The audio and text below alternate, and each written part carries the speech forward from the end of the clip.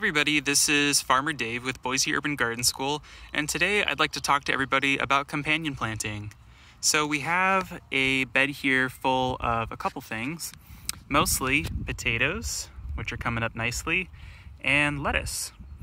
Now, the reason potatoes and lettuce can be good companion plants is a couple things. Um, mainly, it's they're operating in different root zones, so the potatoes are going to be a lot deeper than the shallow rooted lettuce. So the lettuce and the potatoes aren't competing for the same root space.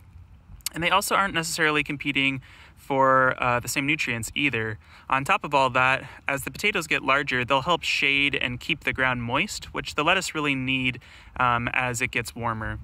And lastly, just a little bonus companion plant here. This here is called lamb's quarters or wild spinach. And you can tell the way it looks because it has kind of a dewy look to it all the time. It has, especially in the center there, you can see that that white, and um, it is wild spinach. Uh, it has a lot of nutrients in it, a lot more vitamin A than cultivated spinach. So if you see this growing around, um, feel free to let it grow a little bit bigger and you can harvest it and, and eat it. Um, it's completely uh, edible and very nutritious. That's it for today, and be well, Boise.